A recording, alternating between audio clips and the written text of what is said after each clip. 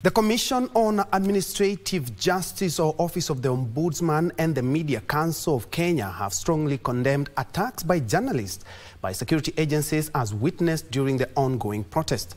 Speaking while opening the office of the Commission in Meru town, the chairperson Florence Kajuju termed the attacks as a violation of human rights and an affront to press freedom. On the new Ombudsman Meru office, Kajuju urged the residents from Meru and its environs to make use of the office, adding she was confident that the office will be able to reduce the backlog in the judiciary.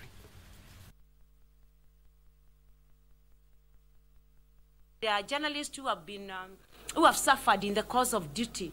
We're asking government, honestly, when, when journalists are covering the protests, they are geared, they have their own gear that identifies the, the journalists to the police officers. So we don't see why there's confrontation.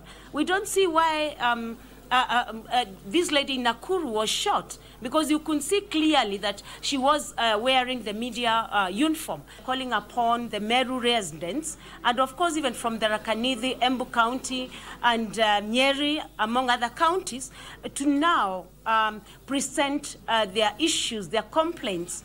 If you're, you have a, a situation where the county government is not serving you in the right way, because the constitution has devolved functions. The constitution clearly stipulates that the media and members of the fourth estate uh, should be allowed to serve without intimidation, harassment, or even injury. It is thus very disheartening when we have instances where journalists are being attacked in the line of duty.